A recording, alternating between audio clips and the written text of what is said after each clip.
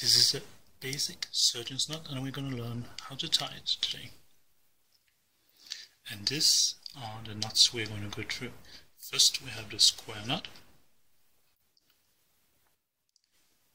Secondly, the surgeon's knot. And thirdly, the surgeon's knot which is locked off. What we'll be needing is a piece of string. Um, the string I have uh, chosen is a little bit uh, on the um, stiff side because it's got a nylon core um, shoelaces or something else would do just as fine and then something uh, preferably to fixate it because it will be much easier to work with. The red will be the piece of thread where the needle will be connected. Um, I'll be using fingers to simulate a driver. And you start with always start with having the thread on the driver towards you. And then it's a square knot. It's only one loop. You go around and pick up the black thread and follow through. You get a loop. So once again red thread. Is where the um, needle is so that's the one where you have to do the loop on. And then uh, when it's the second time on the back side of the driver. Okay in one loop and pick up the black thread and pull it through. So and now you have a, a basic square knot this time we're going to do um, surgeon's knot we start with the same thing.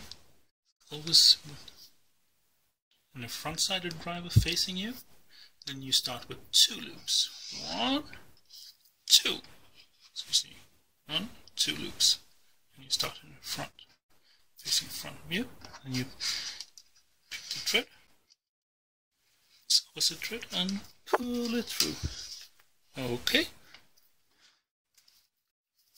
and oops we end up with having two loops. Then we're going to take it to the back side, and then the square knot had uh, two loops beneath and one on top. And then you, you always go opposite side. So now you start the loop uh, on the driver's away from you. Okay? Then only one loop, and then you pick up the black thread and go out and you got a surgeon's knot of sort. So, and if you want to lock the surgeon's knot, which you to do with certain types of threads and uh, in certain places. You just do the opposite. Last time you um, first you started with in front, and the second time was behind. Then you have to go opposite again, and then only one loop, and go follow through.